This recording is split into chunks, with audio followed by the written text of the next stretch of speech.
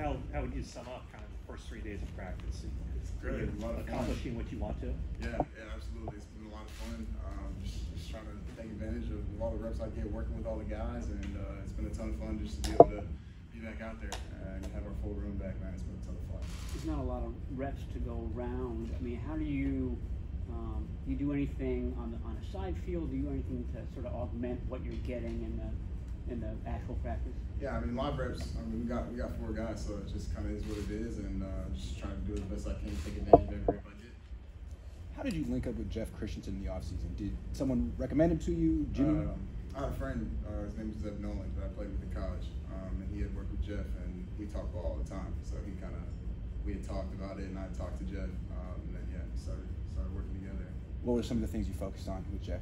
Uh, I don't want to get into all, all the details, but um, feel really good about, about what we've accomplished, and uh, going to continue to work and continue to get better. Uh, Along those lines, what did you gain from just being around Patrick Mahomes and maybe picking his brain? Anything that you kind of glommed onto? Yeah, I mean, uh, I think I talked about it in, during OTAs, but uh, it's just awesome to be around a guy like that. Obviously, he's, he's probably doing it at the highest level uh, there is. Maybe I don't want to say ever. I don't want to get into controversy, but uh, he's playing at a very obviously very high level. Uh, multiple Super Bowls, multiple big games. So uh, just being able to pick his brain about everything, in season, off season, the schedule, how he sees the game, everything like that. Was that just then, did you, did you do it in these last forty days as well with him? No, no, we didn't throw together. Trey, Trey, after, after Brock got cleared the other day, what was the message from, from Coach Shanahan to, to you, and, and how did you kind of digest, you know, how this might play out over the next? Uh, no, we haven't had any conversations. So just learn, uh, find out, you know, right before practice or whatever, what the rep count is going to be. And like I said, just, just take advantage of every rep. But super excited, obviously, for Brock uh, that he's able to come back and practice. Trey, you know your weapons really well, and, and uh, Brandon and, and Debo look much improved this year. What do you notice about their improvements? Where do you see them different from a year ago? And BA's catching everything. He's running great routes. He's getting to his landmarks. Um, he's making plays, and he looks like you know the BA that we all knew he could be these last few years, and that he kind of turned into. I think towards the end of the season last year. Um, and Debo looks great, man. I mean, he really took care of his body. I know you guys have all, talked about it and, heard about it. Um, but he took care of himself this offseason, locked in, and and he looks, I mean, really one of the best I've ever seen. When you have limited reps like you've had in the last couple of days, if you make a bad throw, does it stick with you more and do you kick yourself more? Uh, not really. I mean, especially on the field. Maybe after practice, going back and watching it. Um, uh, but uh, on the field, I'm, I'm very much turn turn the page. Yeah, gotta go on to the next play. 'cause once it starts to snowball, you don't let it linger or anything like that. Especially with, like you said, but just to take advantage one rep at a time. On, on Tuesday, uh, Kyle told us that anytime Brock is out there on the field, it'll be the, the ones. Um, how do you kind of read that? How do you kind of feel about where you are positioned? And is Um, that something no. that you're concerned with? And no, I don't, I'm not thinking about it. I'm taking it one day at a time, one rep at a time, and like I said, just just taking advantage of every rep. Uh, just continue to compete.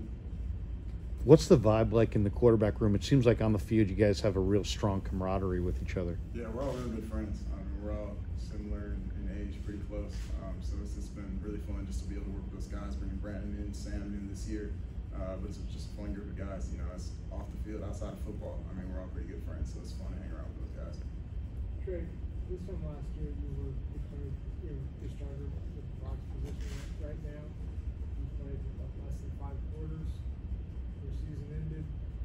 Obviously, a lot of things, ankle injury out of your control, or did out of your control, but I don't know, how do you just kind of reconcile everything? Like, I'm not sure you did anything wrong, but you've gone from starter, and declared starter to competing, you know, lead the number three.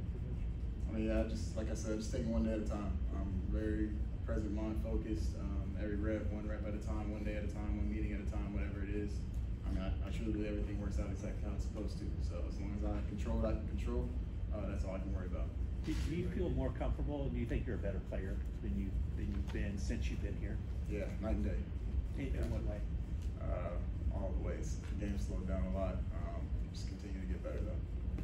You do mindfulness work or anything like that? Yeah, yeah, a lot of a lot of breathing, a lot of meditation, a lot of just just present mind focus, um, and, and journaling things like that, just to, to keep myself, you know, keeping one day at a time. And if I do that, it's not too hard to stay positive. I'm pretty pretty blessed to be in this position to, to have this opportunity. Couple more. sure you talked a lot in the, in the spring about the, the finger and how it kind of affected you things mechanically and all that. Uh, how have you reached the point of where you, you know, kind of just able to repeat the mechanics that you want and, and you know, getting rid of them, whatever you had to do to kind of get by? Yeah, just just reps. I think this this offseason is probably the, the most I've ever thrown maybe in my life uh, with no arm pain, no anything like that. So uh, definitely just just reps, as many reps as I could possibly get this offseason, throwing as many days as I could. Um, that's what I tried to do, and just try to get better, you know, one percent every day. Do you find it that it, you've reached the point of just muscle memory? Like, would you go back and watch, you know, tape tape of yourself throwing and things I, like that? I, it's more my feet, honestly, than Okay. anything from the last couple of years. Um, but uh, but yeah, no, I don't, I don't find myself liking to watch the mechanics side of, of the last couple of years reps. Uh, I feel like I'm in a much much better place now for sure. You said, you said no arm pain. Do you, do you think that that is mechanics related, that your mechanics are, are good now, that you're not having the soreness? I think yeah, with, with the volume I've been able to throw, I think it's, it's more a mechanic thing than, than anything. Um, like I said, but the pass was the pass of just probably throwing too much. What what did you know about Sam Darnold before you became teammates, and what have you learned about him since? Uh, we had met actually when I was coming out uh, pre-draft, uh, before the draft, because he does his something with the agency tie. So uh, we had met and been to dinner and hung out. Um, and I know he's good friends with Josh uh, and Kyle Allen as well. So we had met down in Orange County and hung out. So I knew he was a great dude. Uh, we had been around him, or I had been around him a few times. So didn't know a whole lot. Obviously, had seen him play and knew where he was drafted and everything like that. And knew he, you know, had been put in tough situations, you know, in his career. So, uh, but knew he was a great person. So I was super excited when, when Kyle told me he was coming. One thing, we go and, uh, talked about, you're having more touches, and sometimes your fastballs will, will be too fast at, at, at times. Um, but is that, like, would you agree with that? What was the evolution of, okay, this requires more touch, I don't, I don't need to, to five or something? Uh, I think just reps, trust, um, everything I did th- this offseason, just being more comfortable, um, changing my ball path a little bit. Um, but yeah, I think I'm in a lot better spot as far as just, just throwing and, and playing football and playing for the back. When you're, when you're running, Trey, like you, you, you scrambled out on one play today, is there any extra sense of appreciation for being able to do it considering the injury you had to come off and rehab? Yeah, absolutely. I, I didn't think, I'd be lying if I said I thought I'd feel as good as I, I do. Um, coming back to OTAs and especially now, um, I thought I'd have, you know, at least a setback. Uh, but thankfully, you know, knock on wood, haven't had anything. So, uh, yeah, definitely very, very thankful for that. All right. Appreciate you guys. Thank you. Thanks, Trey.